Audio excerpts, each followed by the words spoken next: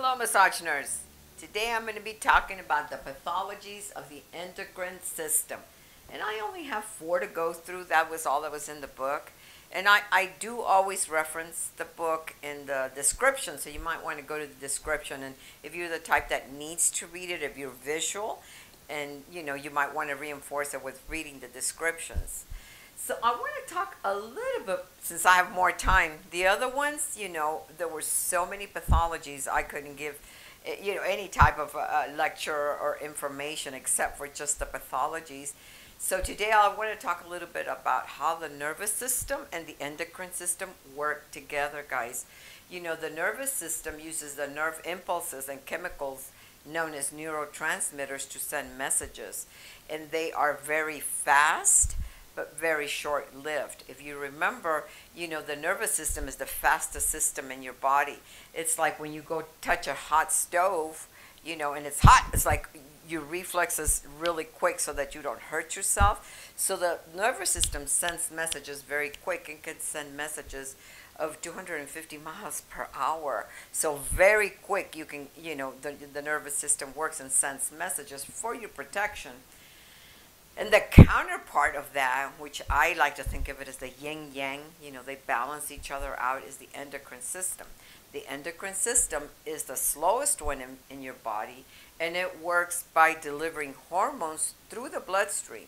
The hormones, the hormones are delivered through your bloodstream, and uh, they're chemical messengers, and they are very slow to be delivered and to move around and to um, uh, affect their target uh, glands, but they're also, you know, long lasting. So they work together. The nervous system and the endocrine system are very, very important systems uh, the nervous system affects the endocrine system to send messages, you know, like to release hormones. And uh, I can talk about the nine uh, endocrine uh, glands. There's, there's nine endocrine glands, and they're very small. All of them put together in your hand lay weigh, way less than half a pound. They're very small, but they're very powerful because they control most of your body systems. You have your hypothalamus, pituitary, and pineal. Those are in you know in your brain, and um, the pituitary is known as the master gland because it's the one that kind of tells everybody what to do. You know, it's like it it sends a message to the hypothalamus. It's like the trigger, like the trigger pulling to for the hypothalamus to like what to do and so on. But then you have your thyroid, thyroid, and parathyroid. Parathyroid just means it's para, the, the prefix para means it's next to, next to the thyroid. So the prefix, every time you see para, like in paraspinals, it means right next to the spine. Parathyroid, right next to the thyroids. And there are four little dots, eh, you know, uh, next to the, uh, to the thyroid. Then you have your adrena, adrenals, your pancreas, your ovaries, and your testes. So those are the glands of the endocrine system. And uh, so let, let me talk a little bit about diabetes. So diabetes is a, a group of diseases characterized by high glucose levels. And high glucose levels will affect fats, uh, carbs, um, you know, proteins by, you know, not being able to absorb, you know, the uh, insulin. And it's, called, it's caused by either, you know, uh, genetic. Usually, type 1 diabetes is usually, you know, when they know since they're very small, they're born with it. You know, they have a resistance to the, uh, a resistance or insufficient insulin. It could be either or. So that means that your, your pancreas is not producing enough beta cells and, you know, so it, you can't absorb, you know, the carbs correctly and it, your sugars go up. So type 1 is the pancreatic, pancreatic beta cells are destroyed and without the insulin, and you, you know, they don't have any insulin. So the glucose can't, can't enter the cells. And this is the ones that are insulin dependent. The type 1, they have to inject themselves. And like I said, it's, it's considered an autoimmune and also, you know, genetics. And these are the type of clients that they inject themselves so you have to be real careful when you give them massages because when you give them massages, especially most of them inject themselves in the abdomen, you know, sometimes their leg. When you give them the massage, it absorbs the insulin, so they might have a, an effect, you know, where they feel lightheaded. So make sure you stay away from the areas where they, you know, they uh, do the um, the shot. And as all, of course, remember, guys, everything has to do with having a good medical history and talking to your client before that. Um, the opposite of having high. Uh, I'm surprised it's not here. You know, uh, on the pathologies, but if you you know people you know have diabetes that's high glucose well low glucose is uh, is the opposite of that and it's hypo hypoglycemia and actually that's very dangerous too because they can go into a coma if their sugar goes too low. They start they start getting like incoherent and they almost pass out and you know so you always want to have like th- those are the people that you know right away you want to give them a half a glass of orange juice something to bring their sugar up or a piece of candy. So that you you need to watch out for that and i'm not trying to scare you i'm just trying to let you know to be informed and to always have you know i always have candy at my office just in case anybody that would ever happen. Luckily that has never happened to it happened in class though with one of the students uh, that his blood sugar was so low and i could tell he was not coordinating and you know he ended up on the floor just like he couldn't even remember his daughter's phone number. We had to call it was a scary thing but you can tell when somebody's sugar is really dropping because they just become like really incoherent and don't make any sense and can't think. So look out for that too even though that's not here. But let's talk about diabetes mellitus and that's the uh, pancreas pancreas produces in- insulin but the cells are resistant um, are resistant to it. And uh, diabetes is, is not curable, but it can be controlled and it can be, uh, you know, prevented. I always say, because the type 2 diabetes is the one that's right now rampant because of people that are overweight and because of obesity and because people don't exercise.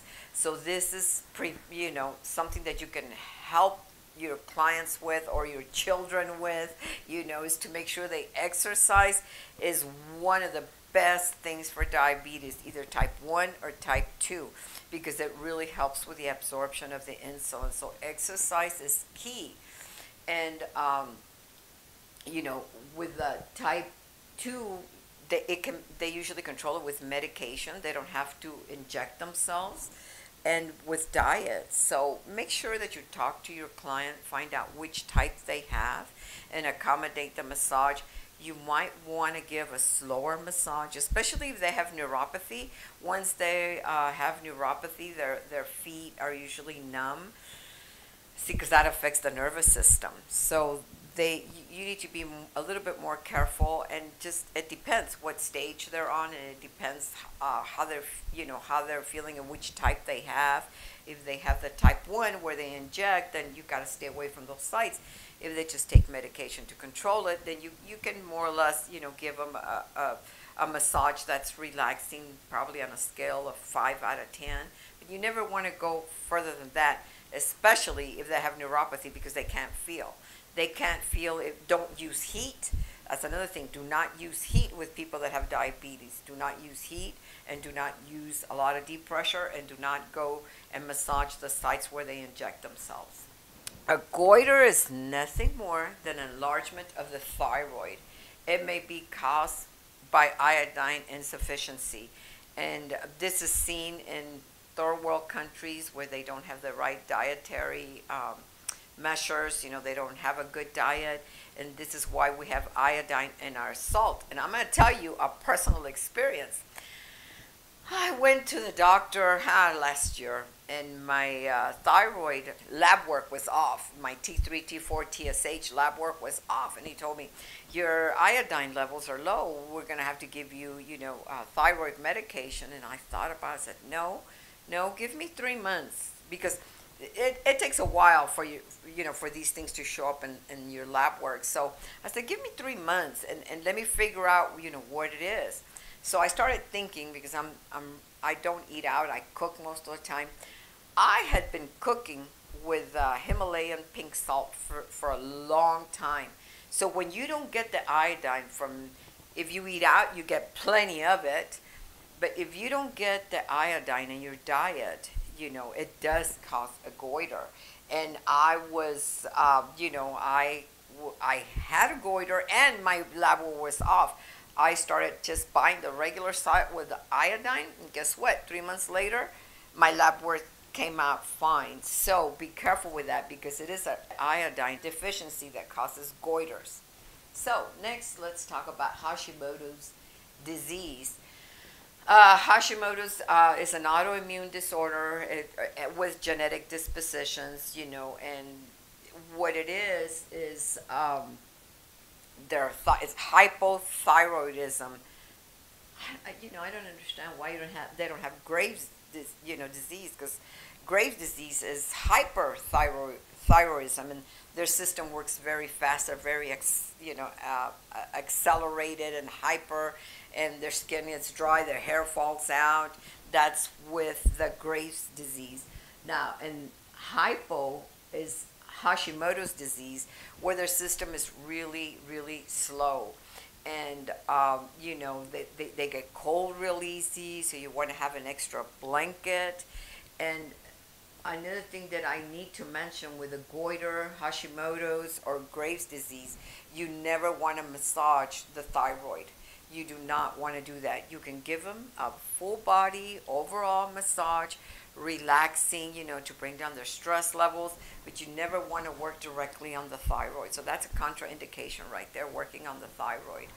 Um, uh, you know, avoid the anterior part of the neck. Um, so no deep pressure, you know, and, and just accommodate whether it's Hashimoto's. Like I said, one of the main things with that is they get very cold.